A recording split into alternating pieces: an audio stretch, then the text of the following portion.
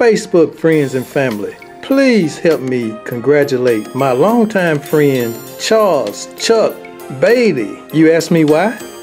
Because the city of Waxahachie dedicated a building called the Charles Beatty Municipal Service Building. Chuck attended school at Turner High School in Waxahachie and graduated in 1964. He then attended North Texas State University. He was drafted by the Pittsburgh Steelers in 1969 and played four seasons in NFL, including one season with St. Louis Cardinals. After football, he returned home to serve the community in which he grew up in.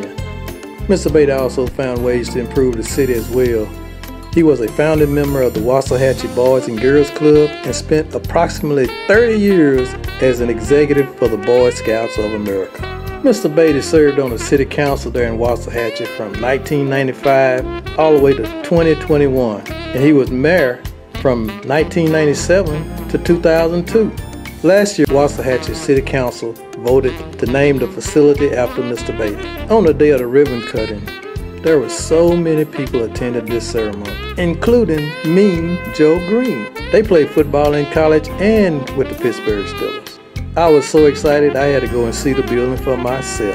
I am so proud of you, Charles Chuck Beatty. You are the man. Thank you, Mr. Beatty, for all you do in our community.